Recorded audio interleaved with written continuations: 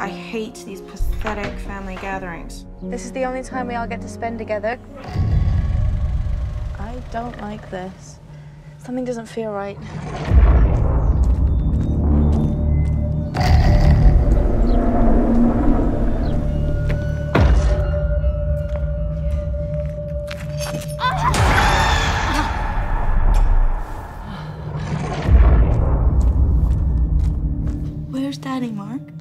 It got Daddy. What do you mean? The monster.